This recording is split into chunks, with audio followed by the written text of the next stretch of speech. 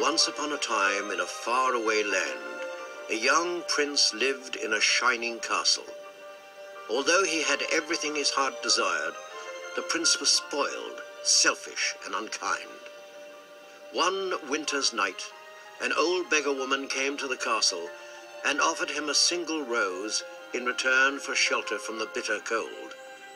Repulsed by her haggard appearance, the prince sneered at the gift and turned the old woman away. But she warned him not to be deceived by appearances, for beauty is found within. And when he dismissed her again, the old woman's ugliness melted away to reveal a beautiful enchantress. The prince tried to apologize, but it was too late, for she had seen that there was no love in his heart. As punishment, she transformed him into a hideous beast and placed a powerful spell on the castle and all who lived there.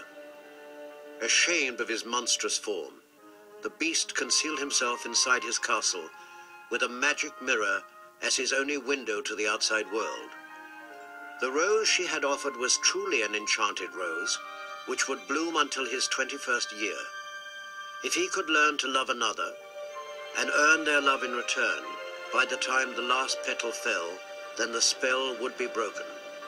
If not, he would be doomed to remain a beast for all time. As the years passed, he fell into despair and lost all hope. For who could ever learn to love a beast? Across the countryside, not far from the beast's castle, an inventor lived with his daughter, Belle. Every morning, Belle left their cottage and hurried into town, swinging a book at her side.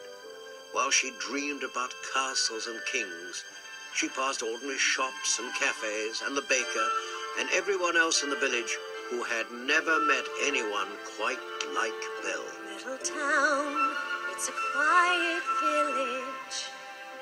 Every day, like the one before.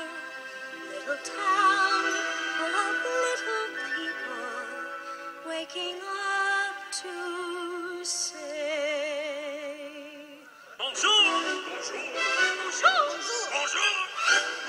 goes the baker with his tray, like always. The same old bread and rolls to sell. Every morning just the same, since the morning that we came to this poor provincial town. Good Morning, Belle. Morning, monsieur. Where are you off to? The bookshop. I just finished the most wonderful story about a beanstalk and an ogre and That's a... right. Marie! The baguettes! Hurry up! Look, there she goes, the girl is strange, no question. Dazed and distracted, can't you tell? Never part of any crowd. Cause her head supports some clown. No denying she's a funny girl, that Belle. Bonjour! Good day. How is your family? Bonjour. Good day. How is your wife? I need six eggs. That's too expensive. There must be more than this provincial life. Morning. I've come to return the book I borrowed. Finished already? Oh, I couldn't put it down. Have you got anything new? Not since yesterday. That's all right. I'll borrow this one. That one. But you've read it twice. Well, it's my favorite. Far off places, daring sword fights, magic spells, a prince in disguise. If you like it all that much, it's yours. But, sir. I insist. Well, thank you. Thank you very much. She goes. That girl is so peculiar. I wonder if she's feeling well. With a dreamy, far off look. And her nose stuck in a book. What a puzzle to the rest of us is Belle.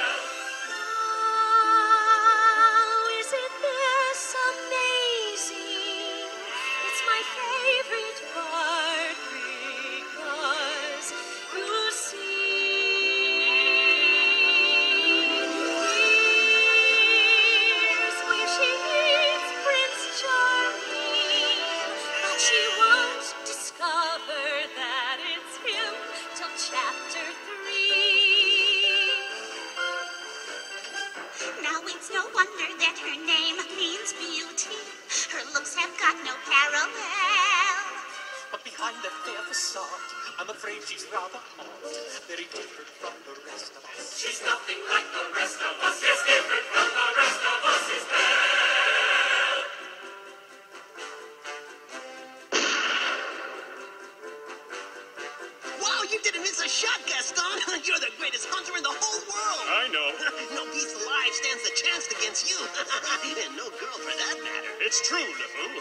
And I've got my sights set on that one. Oh, the inventor's daughter? She's the one.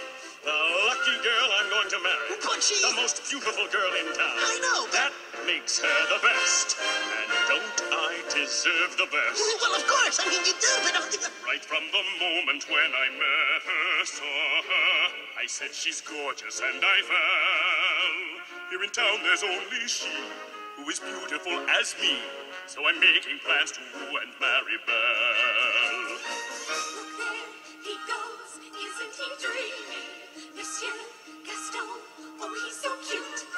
He's still my heart, I'm hardly breathing. He's such a tall, dark, strong, and handsome prince. So I don't. You call this babe? What her? Some cheese. Takes all. Excuse me. Against the knife. Please let me through. There must I'm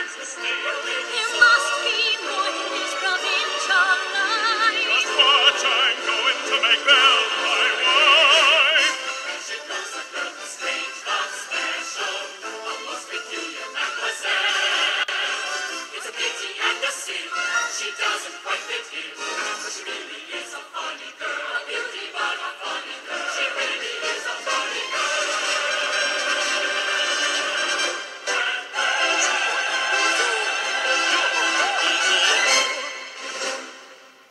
Gaston took a shortcut, then posed nonchalantly in front of Belle.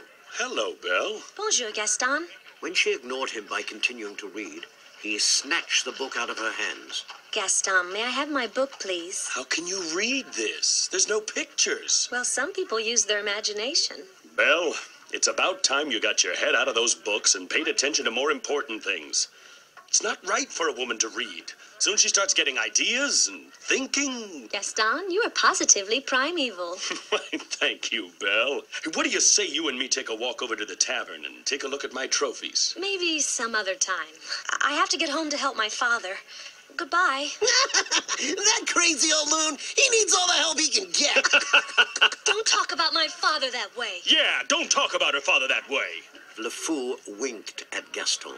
My father is not crazy. He's a genius. Just then, a loud explosion came from the inventor's cottage. Belle whirled around and ran home, arriving in time to see the dust and debris settling around her father. Papa? How on earth did that happen? Are you all right, Papa? I, I, I'm about ready to give up on this hunk of junk. You always say that. I mean it this time. I'll never get this boneheaded contraption to work. Yes, you will. And you'll win first prize at the fair tomorrow. And become a world famous inventor. You really believe that? I always have. Well, what are we waiting for? I'll have this thing fixed in no time. Hand me that uh, uh, dog-legged clincher there. So, did you have a good time in town today? I got a new book. Papa, do you think I'm odd? My daughter? Odd? Huh. Where would you get an idea like that? Oh, I don't know. It's just that I'm not sure I fit in here. There's no one I can really talk to. Hmm, What about that Gaston? He's a handsome fella. He's handsome, all right, and rude and conceited and. Oh, Papa, he's not for me. Well, don't you worry, because this invention's gonna be the start of a new life for us. Late that afternoon, Maurice piled his invention into a wagon.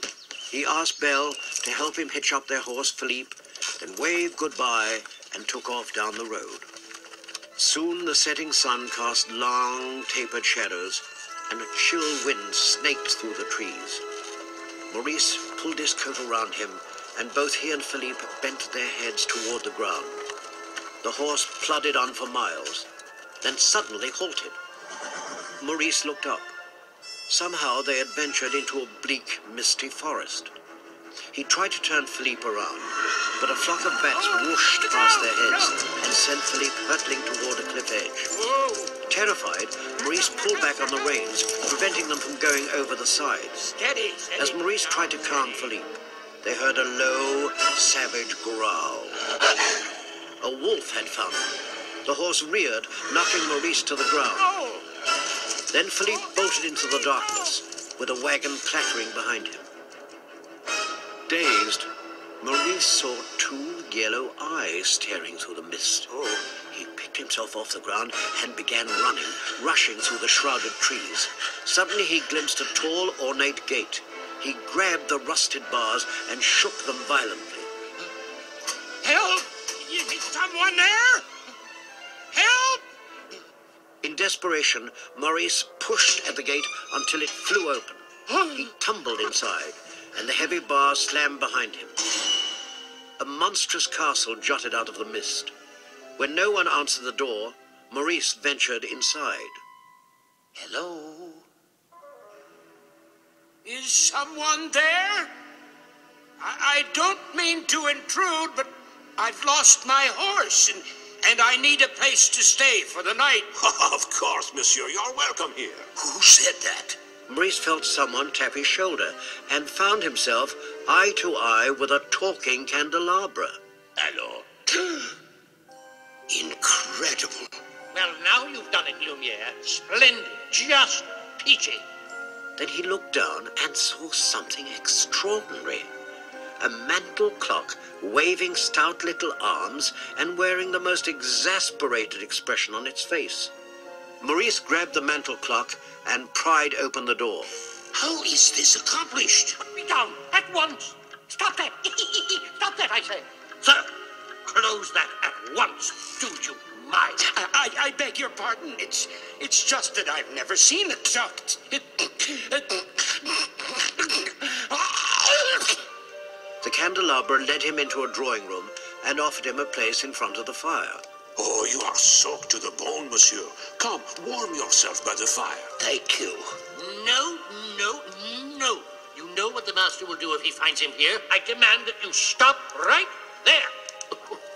Oh, no, no, no. Not the master's chair. I'm not seeing this. I am not seeing this. Cogsworth, the mantel clock, became even more distressed when the teapot rolled over on a cart and a cute little cup hopped into Maurice's hand. How would you like a nice spot of tea, sir? It'll warm you up in no time. No, no tea. No tea. His mustache tickles, Mama. Oh, hello.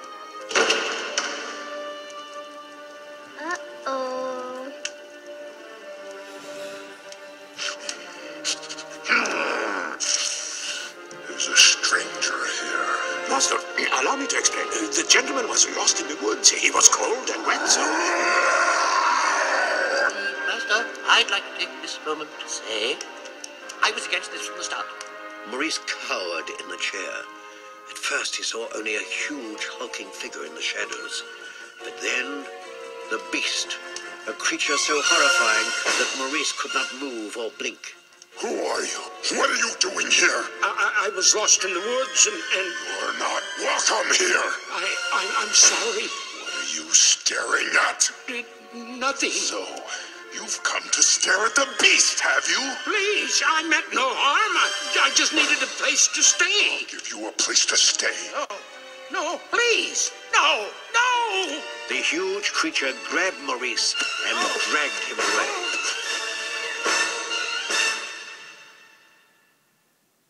Back in the village, Gaston was planning to trap Belle. He promised the townspeople that he would marry her that very afternoon, and they followed him to Belle's cottage. With LeFou ready to strike up the band, Gaston puffed out his chest, then pounded on the door. Gaston, what a pleasant surprise. Isn't it, though? I'm just full of surprises. You know, Belle, there's not a girl in town who wouldn't love to be in your shoes. This is the day your dreams come true. What do you know about my dreams, Gaston? Plenty. Here, picture this a rustic hunting lodge, my latest kill roasting on the fire, and my little wife massaging my feet. While the little ones play on the floor with the dogs. We'll have six or seven. Dogs? No, Belle. Strapping boys like me. Imagine that. Do you know who that little wife will be? Let me think. You, Belle. Gaston, I'm. I'm. speechless. I really don't know what to say. Say you'll marry me. I'm very sorry, Gaston, but I just don't deserve you. Belle shut the door, and after waiting for everyone to disappear, she hurried outside to feed the chickens. She heard a familiar whinny, then saw Philippe stagger down the road. Philippe, what are you doing here? Where's Papa? Where is he, Philippe? What happened? Oh, we have to find him. You have to take me to him. Belle leaped astride, and although Philippe was exhausted, he turned around and carried her past the village into the murky forest where the castle loomed. After Belle forced her way through the gates, she saw her father's hat on the ground. She snatched it up and hurried into the castle, not caring whether anyone tried to stop her. No one appeared. She ran down a long corridor, then up a curved staircase. As she dashed down another hallway, Lumiere and Cogsworth saw her. Papa? Are you here? It's a girl. I know it's a girl. Don't you see? She's the one. The girl we have been waiting for. She has come to break the spell. Wait a minute. Wait a minute. At the top of a stone staircase, Belle heard a faint voice. Belle? Papa? Belle ran down a row of locked doors until she saw her father's face through a small slot. He thrust a frail hand out, and Belle grasped it. Oh, your hands are like ice. We have to get you out of there. Belle, I want you to leave this place. Who's done this to you? No time to explain. You must go now. I won't leave you. What are you doing Oh. here? Run, Belle! She spun around and glimpsed a dark figure retreating into the shadows. Who's there? Who are you? Master of this castle. I've come for my father. Please let him out. Can't you see he's sick? Then he shouldn't have trespassed here. But he could die. Please, I- I'll do anything. There's nothing you can do. Oh, there must be some way I can. Wait! Take me instead. You. You would take his place? Belle, no! You don't know what you're doing! If I did, would you let him go? Yes. But you must promise to stay here forever. Come into the light. The beast stepped forward, and Belle turned away, repulsed by the hideous sight. then she thought of her father and faced the beast. You have my word. Done. Quickly, the beast hauled Maurice out of the castle to a vehicle that would return him to the village. Then the beast hurried upstairs, where he found Belle crumpled on the floor, weeping. You didn't even let me say goodbye. I'll never see him again. And I didn't get to say goodbye. The beast led Belle to her room. On the way, he grabbed Lumiere, the candelabra. Say something to her. I uh, hope you like it here. The castle is your home now, so you can go anywhere you like, except the West Wing. What's in the West? It's forbidden. Back in the village, in his favorite tavern, Gaston glanced up to see the fawning LeFou. Who does she think she is? That girl has tangled with the wrong man. No one says no to Gaston. Done right. Dismissed, rejected, publicly humiliated. Why, it's more than I can bear. More beer? What for? Nothing helps. I'm disgraced. Who, you? Never. Gaston, you've got to pull yourself together. The door burst open, and in walked a soaked, wild-eyed Maurice. Help! Someone help me! Maurice? Please, please, I need your help. He's got her. He's got her locked in the dungeon. Who? Belle, we must go. Not, not a minute to lose. Whoa, slow down, Maurice. Who's got Belle locked in a dungeon? A beast! A horrible, monstrous beast!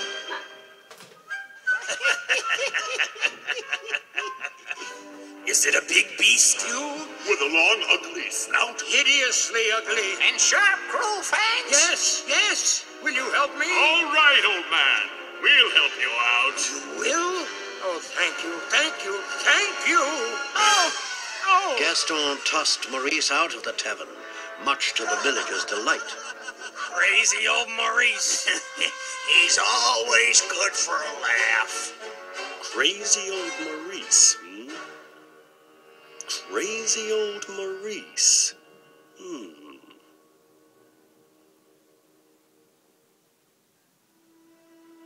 In the Beast Castle, Belle heard a light rap at the door.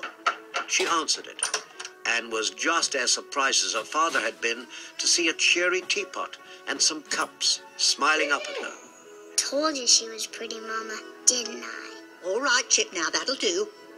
As Belle sipped out of the chip cup, Mrs. Potts watched her. That was a very brave thing you did, my dear. But I've lost my father, my dreams, everything. Cheer up, child. It'll turn out all right in the end. You'll see. Oh, listen to me. Jabbering on while there's a supper to get on the table. Chip, Bye.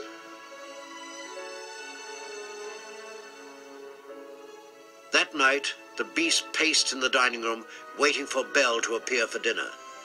Mrs. Potts and Lumiere peered down from the mantel. Master, have you thought that perhaps this girl could be the one to break the spell? Of course I have. I'm not a fool. Good.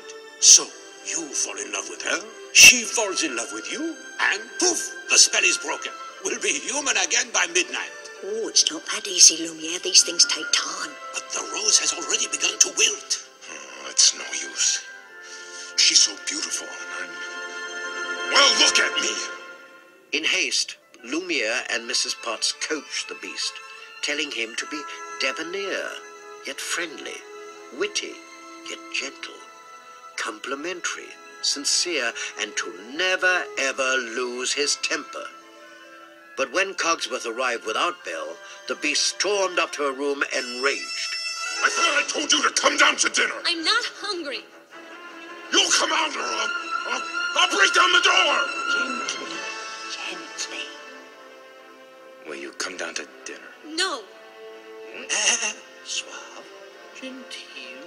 It would give me great pleasure if you would join me for dinner. Please. No, thank you. You can't stay in there forever. Yes, I can. Fine. Go ahead and starve. If she doesn't eat with me, then she doesn't eat at all. The beast stumped off to his lair, and as he watched another petal fall from the rose, he despaired of ever breaking the spell.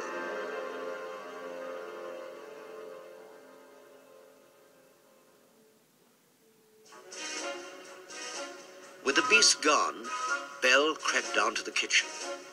Cogsworth fumed when Lumiere led Belle into the dining room. If the master finds out about this, it will be our neck. Of course, of course. But what is dinner without a little music? Music. Ma chère mademoiselle, it is with deepest pride and greatest pleasure that we welcome you tonight. And now, we invite you to relax. Let us pull up a chair as the dining room proudly presents your dinner. Be our guest. Be our guest. Put our service to the test. Tie your napkin round your neck, sherry, and we provide the rest. Soup du jour, hot hors d'oeuvre. Why, we only live to serve. Try the gray stuff. It's delicious. Don't believe me? Ask the dishes. They can sing, they can dance. After all, miss, this is France. And a dinner here is never second best. Go on, unfold your menu, take a glance, and then you'll be our guest. We, our guest, be our guest. Beef ragout, cheese soufflé, pie and on flambe. We'll prepare and serve with flair a culinary cabaret. You're alone and you're scared, but the banquet's all prepared. No one's gloomy or complaining, while the flatware's entertaining. We tell jokes, I do tricks with my fellow candlesticks. Put it all in perfect taste that you can best. Come on and lift your glass. You won your own free pass to be our guest. If you're stressed, it's fine dining we suggest. Be our guest, be our guest, be our guest. It's a guest, it's a guest. Sakes alive and I'll be blessed. Wine's been poured and thank the Lord I've had the napkins freshly pressed. With dessert, she'll want tea. And my dear, that's fine with me. While the cups do their soft chewing, I'll be bubbling, I'll be brewing. I'll get warm, I'll be hot. Heaven's sakes, is that a spot? Clean it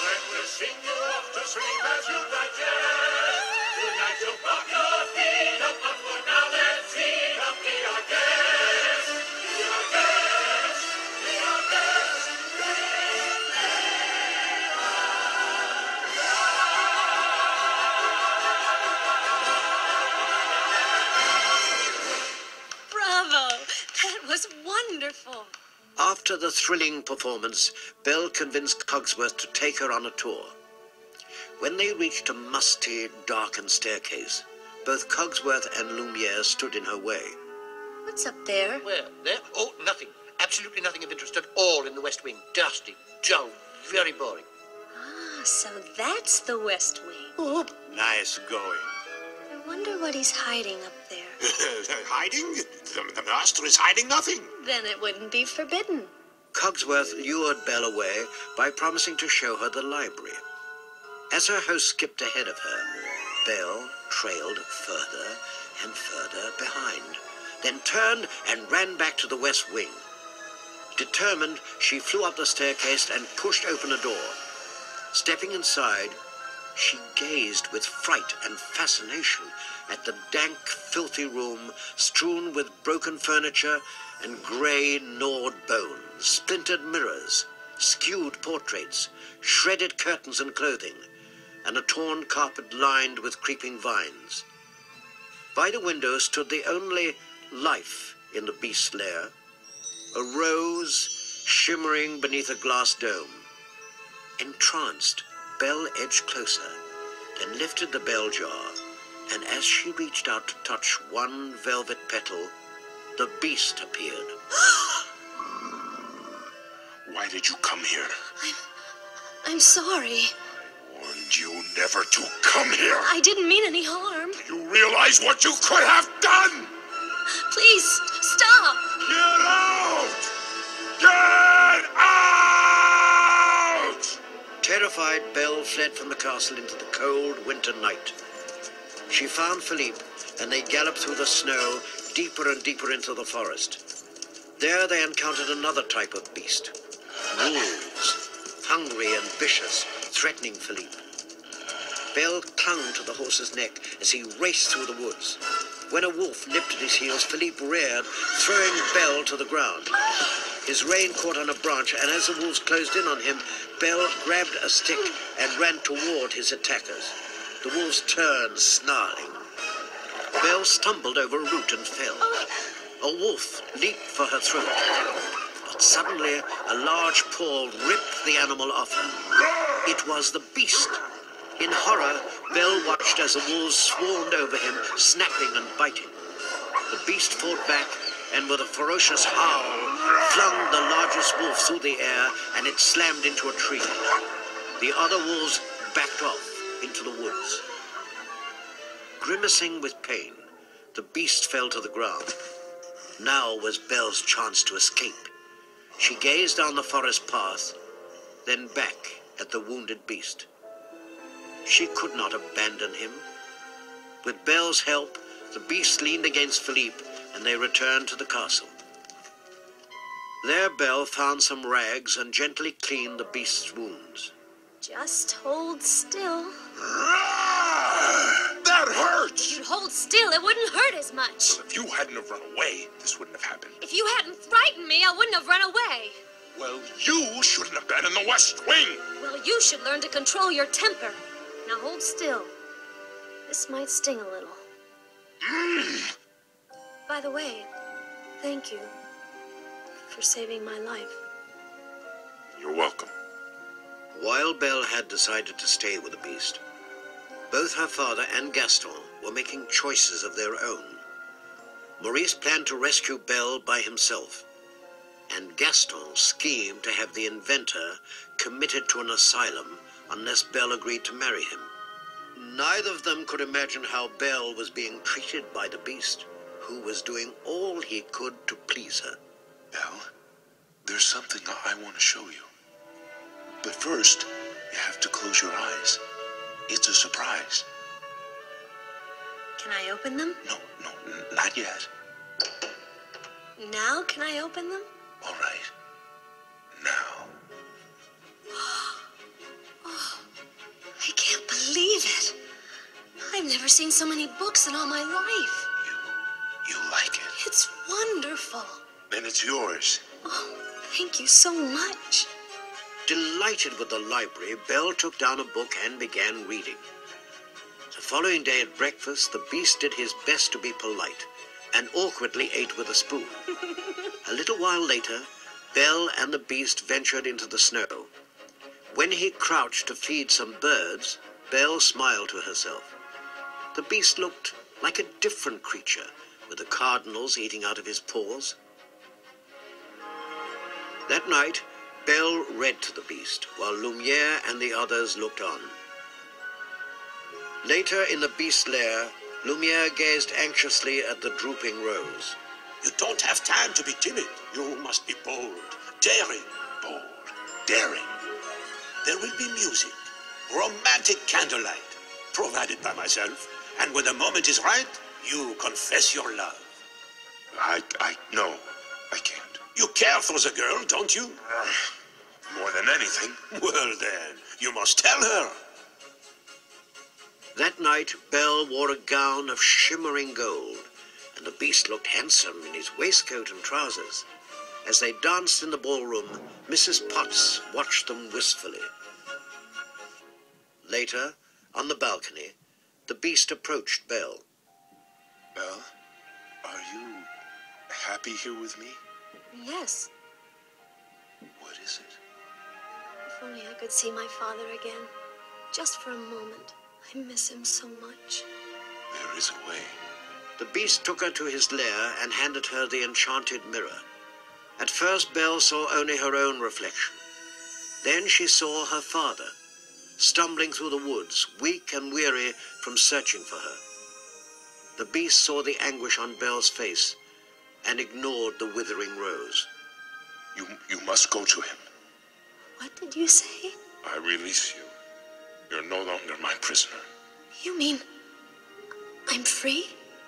Yes. Oh, thank you. Hold on, Papa. I'm on my way. Before Belle hurried away, the beast gave her the enchanted mirror. Take it with you.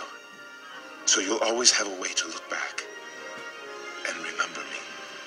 You for understanding how much he needs me. Heartbroken, the beast watched her ride away from the castle. Then he turned his gaze to the rising moon. In the forest, Belle searched among the trees until she found her father, shivering and feverish on the ground. She helped him onto Philippe, and they galloped back to their cottage. As Belle helped her father inside, LeFou saw them and dashed off to tell Gaston.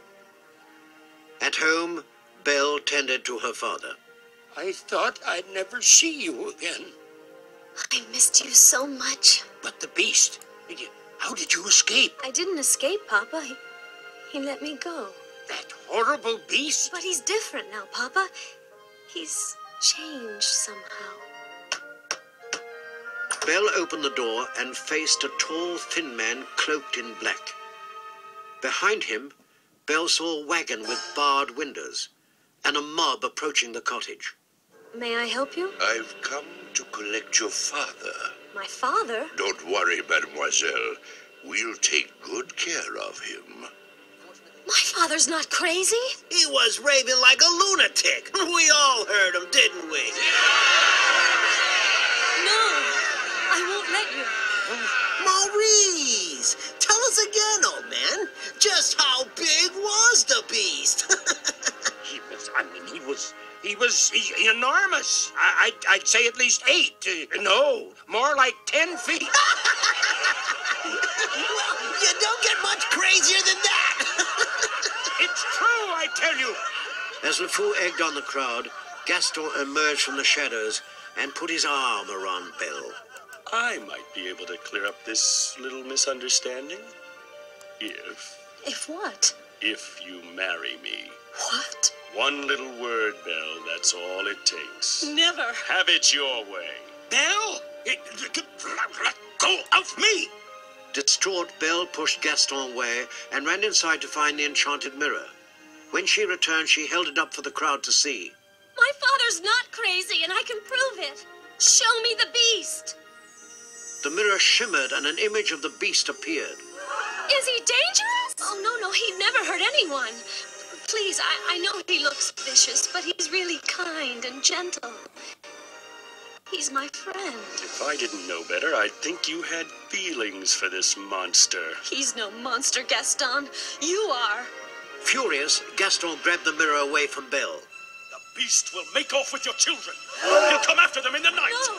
We're not safe till his head is mounted on my wall. I say we kill the beast. We're not safe until he's dead. He'll come stalking us at night. Set to sacrifice our children to his monstrous appetite. He'll wreak havoc on our village if we let him wander free. So it's time to take some action, boys. It's time to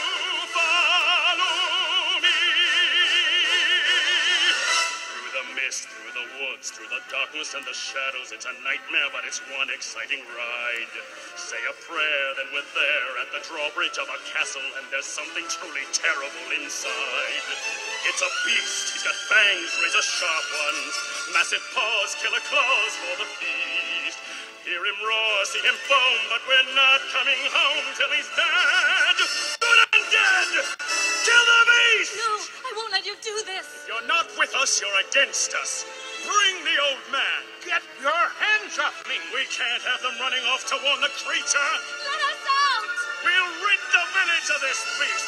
Who's with me? i am Out your torch, out your horse. Through your courage to the sticking place. We're counting on Gaston to lead the way. Through a mist, to a wood, where within a haunted castle something's lurking that you don't see every day.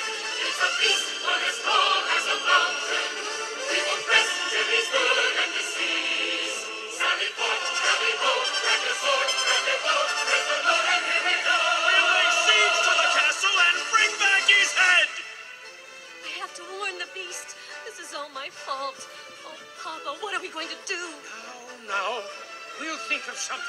Meanwhile, Gaston led the villagers to the castle.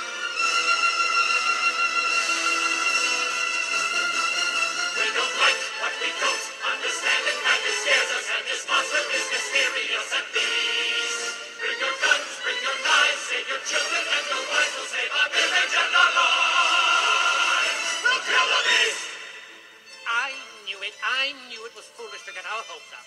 Maybe it would have been better if she'd never come at all. Could it be? Is it she? Sacre bleu! Invaders! Routers, And they are the mirror. warn the master. If it's a fight they want, we'll be ready for them. Who's with me? Ah! Take whatever booty you can find. But remember, the beast is mine. Lights of blaze, banners high, people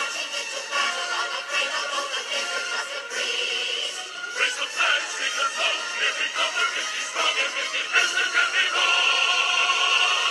kill the